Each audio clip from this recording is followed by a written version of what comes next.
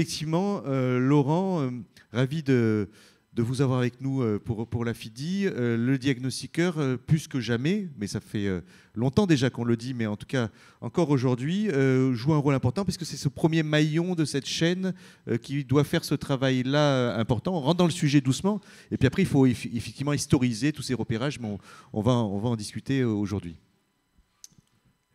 Effectivement, la réglementation, du coup, dans le cadre de, la remédiation amiante, euh, prévoit euh, ces opérations de, repérage amiante euh, avant travaux, mais pas que. Hein. il y a une, gestion de la traçabilité de la, de la problématique amiante, et c'est ce qu'on va pouvoir aborder dans les quelques slides que je me propose de, vous présenter.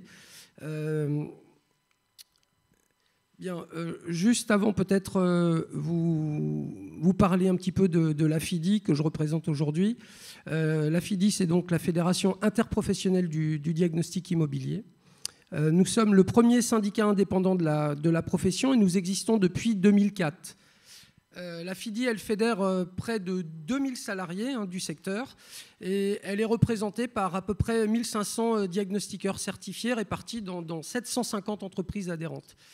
Euh, voilà, donc on a pour vocation, euh, dans le cadre de ce syndicat, de représenter, de défendre bien sûr nos adhérents auprès des instances gouvernementales, des directions techniques et réglementaires.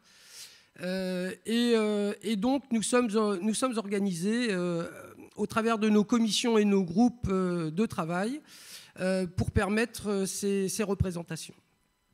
Donc on accompagne nos adhérents avec des services, bien sûr, euh, des partenariats importants, de la veille juridique, euh, des conditions d'assurance spécifiques. Euh, et donc, nous avons des partenariats commerciaux avantageux qui permettent à nos adhérents eh bien, de, de s'y retrouver quand, quand, ils veulent développer leur activité. voilà, donc voilà pour ce qui est de, la FIDI. Nous sommes par ailleurs euh, euh, du coup organisés avec un conseil d'administration et l'ensemble des entreprises du secteur sont représentées, hein, les tout petits, euh, indépendants, comme les entreprises un peu mieux constituées et puis les, très gros réseaux ou les entreprises représentant plus de 100 salariés. la FIDI est également dotée d'un bureau hein, qui, est l'organe Euh, décisionnel et, en tout cas euh, voilà, qui, travaillent sur le sujet, et avec des groupes de travail et des commissions qui ont pour objectif de produire du contenu. Euh, produire du contenu, concentrer, l'expertise, ce qui permet d'avoir des représentants comme, ce matin pour revenir parler de sujets complexes.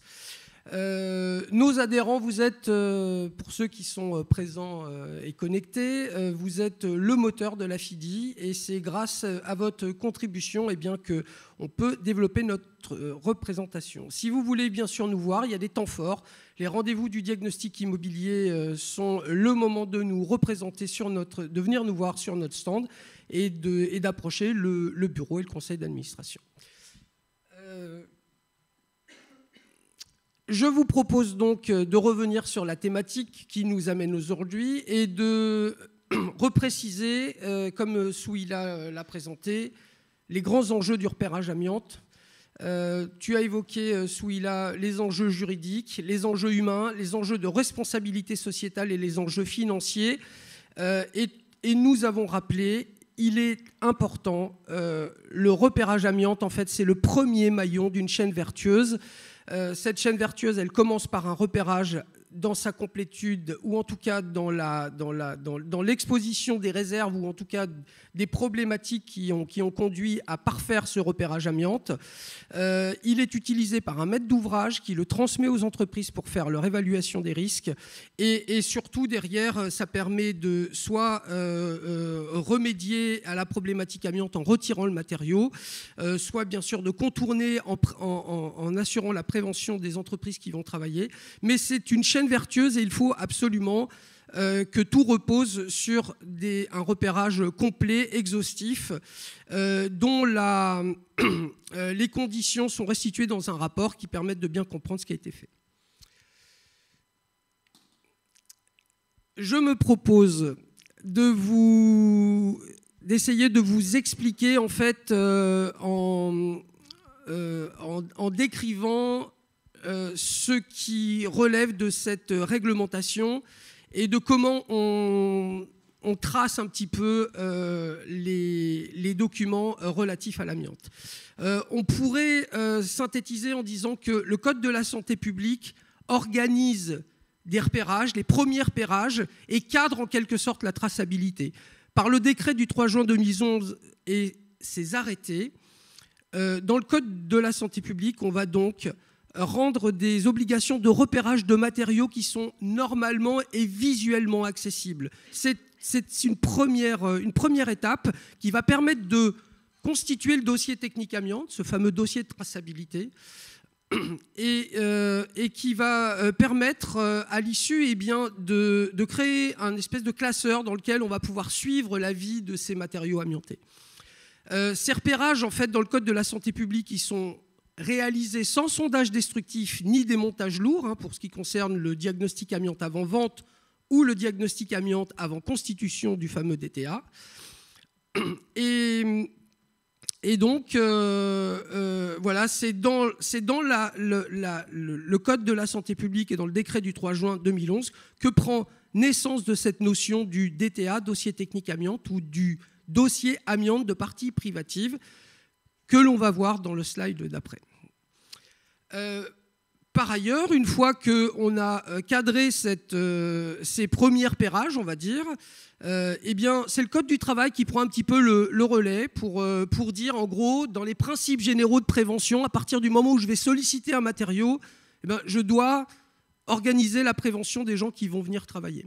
Et donc, euh, à l'issue d'un décret qui cadre les repérages avant certaines opérations dans différents domaines autres que le bâtiment, eh euh, on, va, décrire et cadrer les opérations de repérage qui vont se préciser dans le cadre d'un arrêté, qui est l'arrêté du 16 juillet 2019, qui va lui euh, notamment définir euh, la méthodologie, les conditions et les obligations ou les exemptions pour réaliser un repérage amiante avant travaux dans les immeubles bâtis. L'ensemble de cette réglementation, donc on a bien compris, hein, euh, Code de la santé publique, on ouvre en fait un espèce de dossier de traçabilité sur un repérage des matériaux qui sont accessibles dans le cadre d'une liste définie. Et puis à chaque fois qu'on viendra solliciter les matériaux, eh on organise suivant le périmètre de repérage un repérage amiante avant travaux et on vient agrémenter ces informations dans un classeur.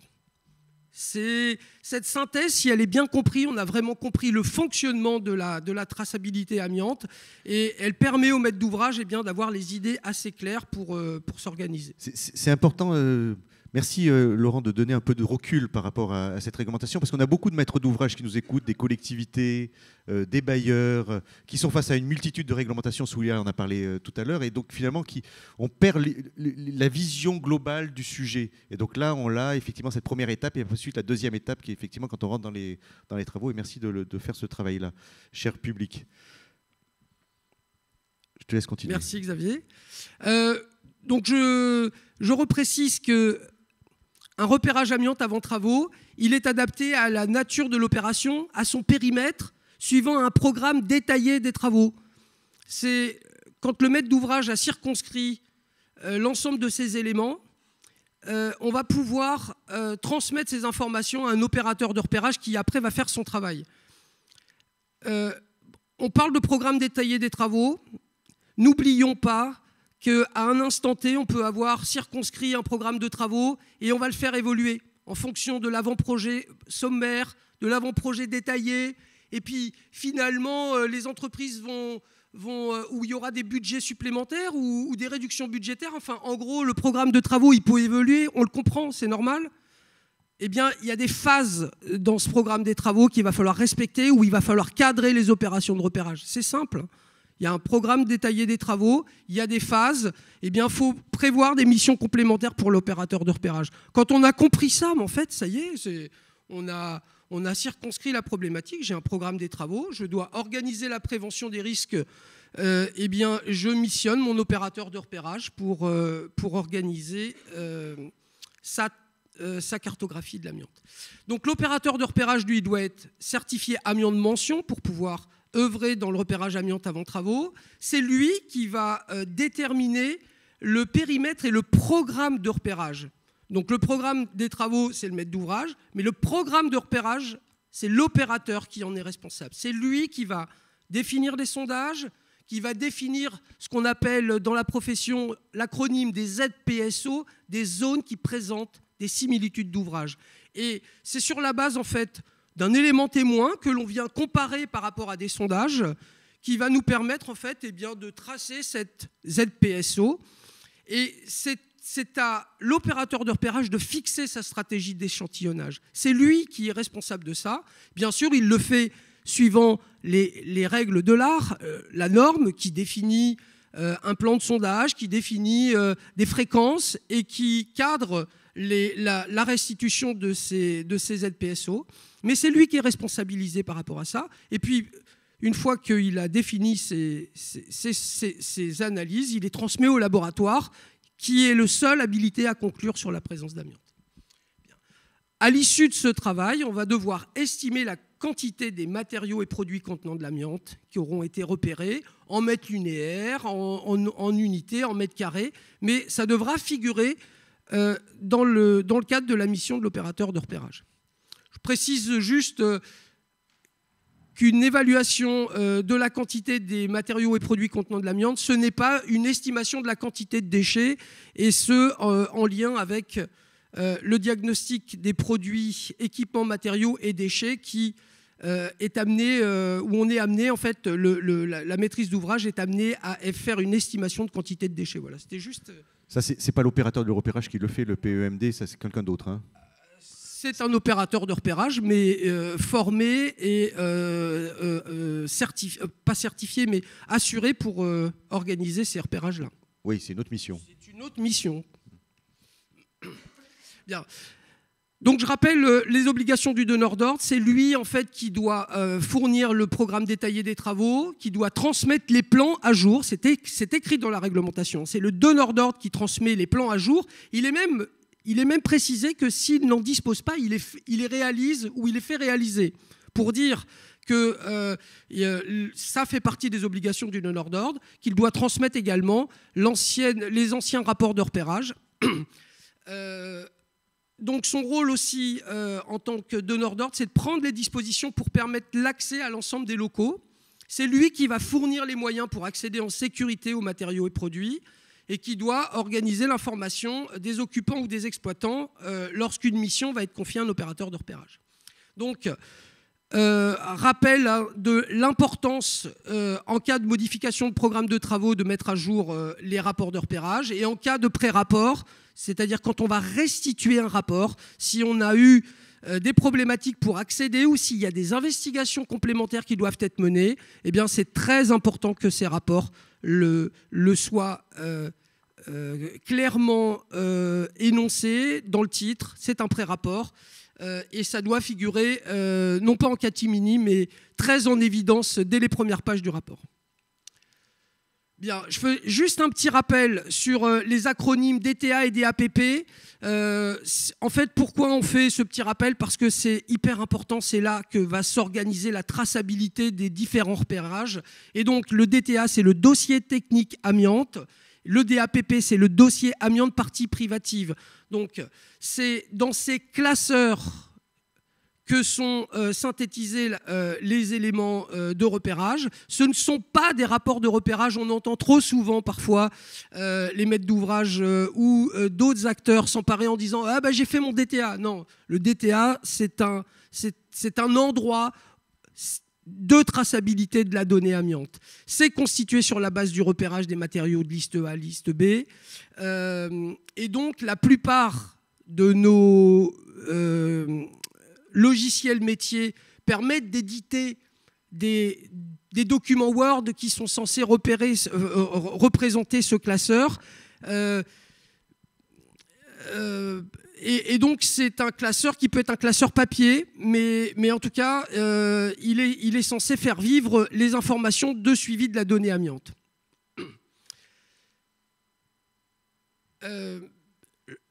Juste pour comprendre, en fait, le Code du travail prévoit bien la mise à jour des dossiers de traçabilité. Quand on a fait un repérage amiante avant travaux, il est écrit dans l'arrêté que le donneur d'ordre doit transmettre une copie de ce repérage au propriétaire afin de mettre à jour pour un appartement en immeuble collectif d'habitation le dossier amiante partie privative ou pour mettre à jour le dossier technique amiante pour les autres locaux assujettis.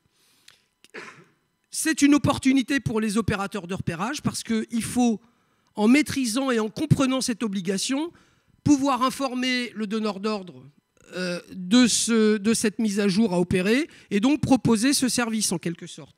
Et je rebondis euh, pour préciser que les opérateurs de repérage doivent, je pense, s'intéresser à développer de nouvelles compétences. Et notamment, ce fameux classeur, euh, pour qu'il puisse être pertinent, euh, il faut à un moment donné qu'il y ait des logiciels de dématérialisation, de concentration de la donnée amiante qui soient proposés, et il y en a. J'en cite quelques-uns, Amiante 360, Batinbox, Budac, Diaginfo, etc. Ces logiciels de dématérialisation, ils ont pour vocation d'apporter euh, la remédiation amiante, de concentrer la donnée et euh, euh, concentrer la cartographie, les différentes cartographies, et permettent assez facilement de gagner du temps et donc de gagner de l'argent à terme, puisque le maître d'ouvrage, en fait, n'aura plus à refaire des repérages successifs dans le temps. Euh, parfois, 3, 4, 5 fois, nous sommes intervenus sur un même, euh, un même mur qui contient des enduits.